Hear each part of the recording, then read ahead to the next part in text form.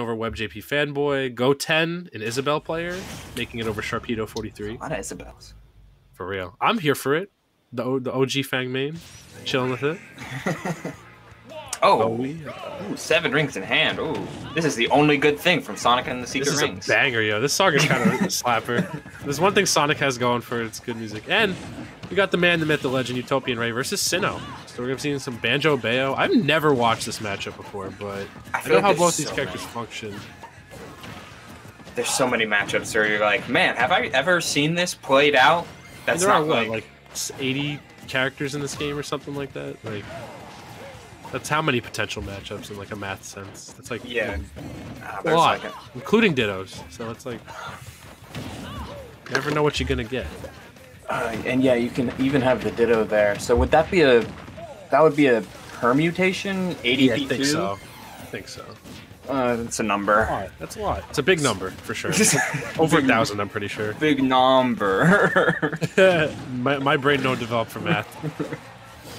I play video game. yeah. Me NES player. Me don't do math. me eat paint and laugh. mm, crayon.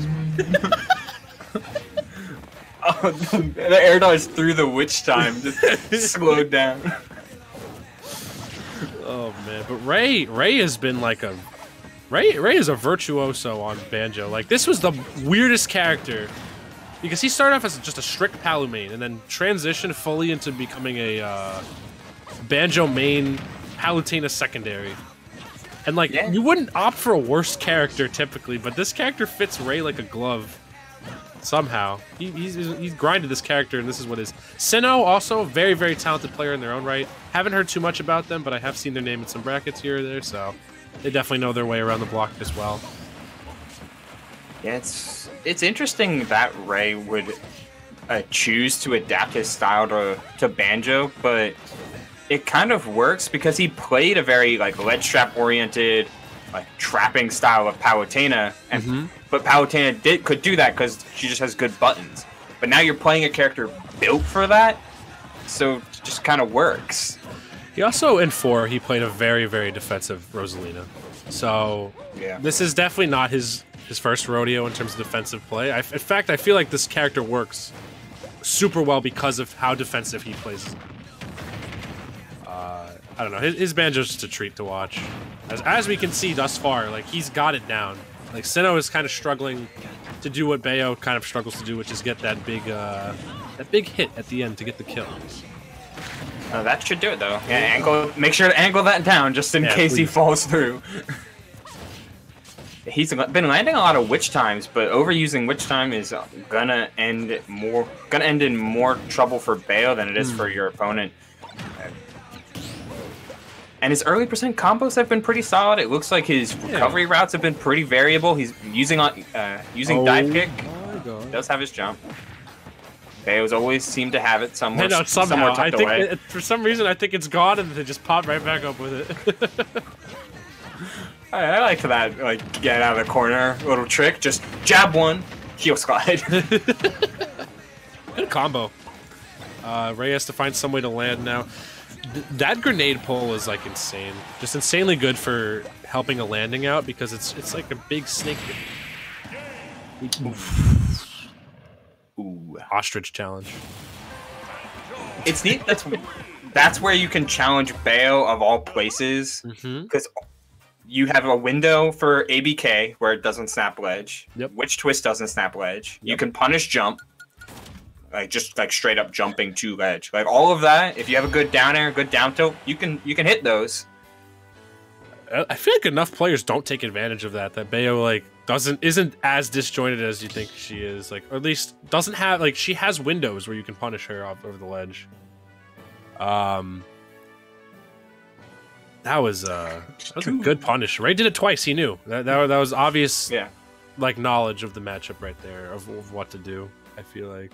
Um, yeah, Ray. I don't know how Sinnoh is gonna crack this nut because Ray's just looking very, very solid in terms of just how he's been dealing, how he's been he's been finishing his food really, really well.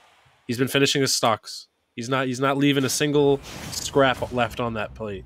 I feel like Bayo struggles to do that a little bit more because it's not as definitive for her. She has to either get a good read with witch time, or um, she has to get like a straight back air. You don't really see her do the things that she used to do, which was erase your stock hella early off of a really good combo. Yeah, especially on a stage like this. Uh, Smash Four memories, or memories you'd like to erase, Oh, yeah, depending on sure. how you how you feel about Bayonetta. As a Smash 4 Bayonetta player, RIP. RIP this stage. But you've also got she's also got some pretty creative uh, horizontal combos as well. However, Ray taking full advantage of Banjo and Wi-Fi, just shooting off that Wonder Wing. Oh, he- I, wow, always they always have it, Mm-hmm. unless they don't. when, when did they ever not have it though? Oh, I've, there used to be that joke of like Bayonetta's always SD once per set. it's true. Can can can corroborate that fact. Yeah, but character's not as broken now, so you have to you have to save your jump this time. That's so unfortunate. That was a really good landing mix-up from Sinnoh, but the RCO lag from using all those specials gave Ray way, way more than enough time to really uh, just distribute the punish. Yeah, Ray, Ray has been hitting these confirms. Now the Sinnoh's got to mix that. They're mashing, or I don't even know if they can mash out at that time or do something. They uh, Uh, keep getting grabbed. So try to play a little more anti-grab at kill percents because that's how Ray has been really finessing these stocks off. Is just getting those solid grabs. Yeah, Banjo's got Banjo's neat because I mean, oftentimes you can start mashing while he's doing the throw animation, and it'll count towards getting out of the berry. So you can get out of that really quick, but that's where up tilt comes in. At 140, I think up smash is just true unless they're a godlike masher. But that you can just not mash, particularly in center stage, and you can get around that. So it's it's interesting to see him just declare on like I'm gonna mash super early because Ray will take that every day of the week because a mm-hmm. 50-50 suddenly becomes just a kill confirm. Yeah, this is looking tough for Sinnoh. Um, oh wow, that's gonna be another stock off. Enough rage on Ray to take off the top right there.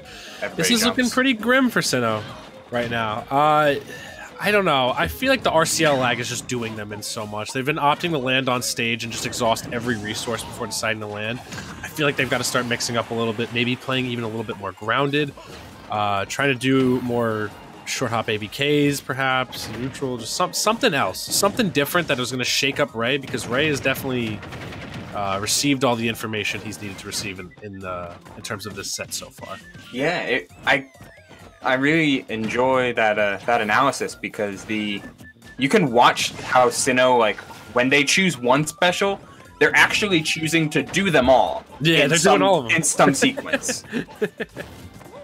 Like, you, don't just get see the mix up, but you don't you don't get the payoff for it because you're exhausting all your resources. Like I believe you get less RCO lag if you do less specials. I think Yes, this is true. so.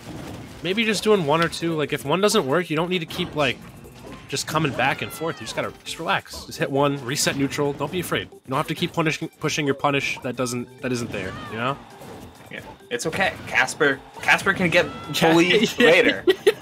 Leave Casper alone. Leave him alone, man. you, got, you got a bear and a bird to worry about.